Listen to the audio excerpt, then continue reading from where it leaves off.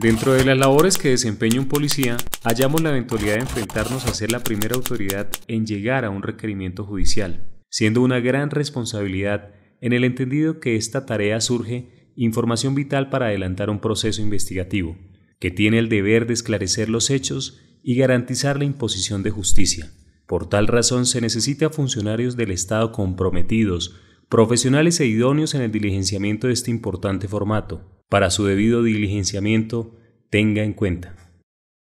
Para obtener la mayor cantidad de información, usted como funcionario público debe conocer su lugar de trabajo, zona, localidad, cuadrante, nombre del barrio, lugares circunvecinos o característicos que de seguro le serán de gran ayuda al momento de diligenciar este formato así. Dirección. Información que identifica plenamente el lugar de los hechos como nomenclatura, avenida, calle, intersección, transversal, diagonal. Podrá apoyarse en herramientas tecnológicas a fin de recopilar con mayor exactitud la ubicación en aquellos lugares donde se carece de estos datos como por ejemplo GPS, brújula, smartphone, entre otros. Barrio, nombre con el cual es conocido el sector donde ocurrieron los hechos. Zona, localidad y vereda.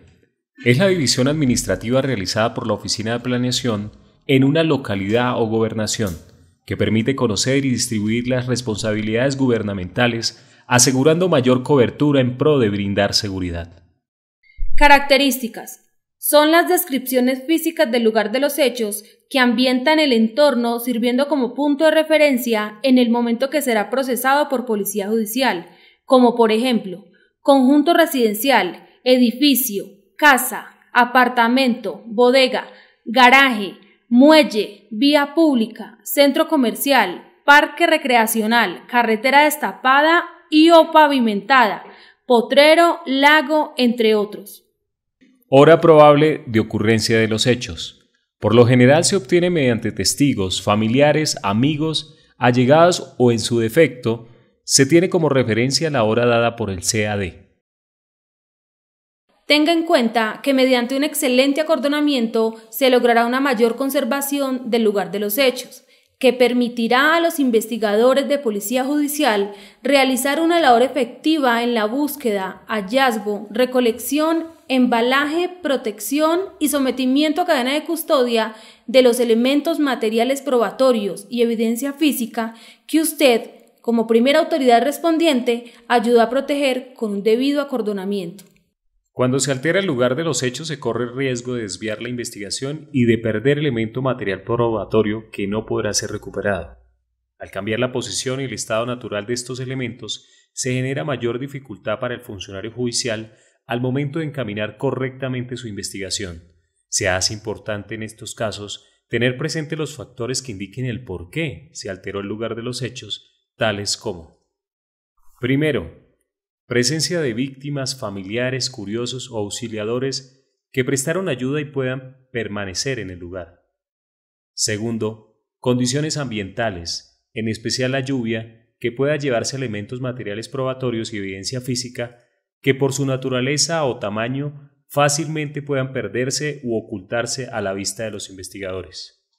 Tercero, funcionarios de las diferentes entidades gubernamentales que por desconocimiento de la ley ingresan al lugar de los hechos para indagar o saber qué ocurrió. Por esta razón, es indispensable dejar plasmado en el formato de primer respondiente la alteración al lugar de los hechos bajo los siguientes criterios. ¿Por qué? Establecer el por qué algunas personas, como los antes nombrados, víctimas, familiares, curiosos, funcionarios, entre otros, se encontraban en el lugar de los hechos. Intervinientes Relacionar los datos, nombres, apellidos, cédula, celular, que sirvan para su plena identidad. Observaciones. Es dejar plasmado lo que observó cuando llegó como familiares manipulando el cuerpo o tomando elementos materiales probatorios, entre otros. Tenga en cuenta que esta información es guía de orientación para el inicio de la investigación. Es por ello que si requiere más espacio, no duden en anexar las hojas necesarias para este fin, sin olvidar relacionar el consecutivo numérico de noticia criminal. La información adicional es, por ejemplo, datos relacionados con las víctimas, cómplices, autores, vehículos, testigos, entre otros. En el lugar de los hechos, por regla general, siempre encontraremos alguna de estas dos clases de víctimas, heridas o muertas. Cada una de ellas demanda una atención especial, teniendo en cuenta que pueden poseer información para el esclarecimiento de la conducta. Víctimas heridas. Suministran información que conllevan a obtener datos del agresor, rasgos morfocromáticos, medios utilizados para cometer la conducta como armas de fuego, vehículos, otros elementos. Víctimas muertas. La posición en la que fue encontrado el cuerpo, los elementos con los cuales ultimaron a la víctima, entre otras. Dejan rastros que permiten establecer las causas del móvil. Los vehículos implicados en ocasiones quedan en el lugar de los hechos como resultado de la comisión de una conducta punible, ejemplo, homicidio o lesiones en accidente de tránsito. En otros casos, solo se obtiene información fugaz o incompleta de las características de los autores útiles para el desarrollo de la investigación. No hay que descartar datos aparentemente simples e incompletos.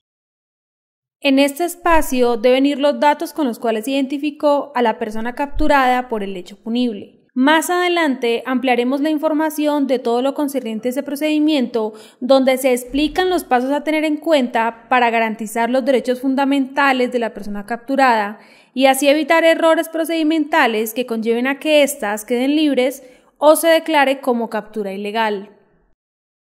Las armas, de acuerdo a su naturaleza, deben ser manipuladas de manera adecuada a fin de evitar cualquier lesión tanto a quien se le incauta como a quien le incautó. Asimismo, la descripción detallada del arma es importante para identificarla plenamente, con el fin de evitar que pueda ser cambiada durante la investigación, perdiéndose quizás la prueba más contundente. Por último, el arma debe ser sometida al protocolo de recolección, preservación, embalaje rotulado y sometimiento a cadena de custodia. Recordemos que los testigos son de vital importancia en toda investigación, más cuando son víctimas del mismo hecho, lo cual indica que pueden aportar información relevante para esclarecer el hecho punible. Es aquí donde usted debe valorar el testigo y darle la importancia correspondiente para que sean un aliado en la investigación. Cuando se asume el rol como primera autoridad respondiente, se debe tener en cuenta la responsabilidad que ello implica, toda vez que podría ser llamado a juicio para justificar su actuación. Por tanto, el funcionario aportará los siguientes datos, nombres y apellidos, entidad a la cual pertenece, número de identificación con cédula de ciudadanía, dirección y teléfono para ser ubicado con facilidad por parte del ente judicial. La primera autoridad respondiente es quien protege y asegura el lugar de los hechos para un adecuado procesamiento. El funcionario que acude en primera instancia al lugar de los hechos podrá ser relevado diligenciando de manera correcta los numerales 10 y 11 del formato de policía judicial actuación de primer respondiente, a fin de darle el respectivo trámite ante la entidad judicial correspondiente. El relevo puede realizarse entre servidores de diferentes entidades. Este espacio será diligenciado por el funcionario de policía judicial o quien haga sus veces, siendo el encargado de procesar el lugar de los hechos, con el fin de hallar, fijar, recolectar, preservar, embalar, rotular y someter a cadena de custodia los elementos materiales probatorios y o evidencia física. De la labor responsable y profesional como primera autoridad respondiente depende el inicio de una investigación bien orientada, que logre llegar al esclarecimiento de un hecho delictivo y a su vez constituya un insumo probatorio para la administración de justicia.